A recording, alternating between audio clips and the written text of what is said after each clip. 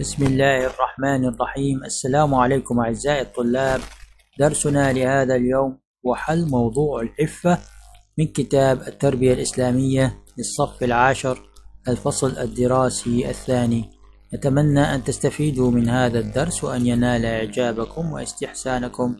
ولا تنسوا الاشتراك في القناة والضغط على علامة الجرس ليصلكم كل جديد.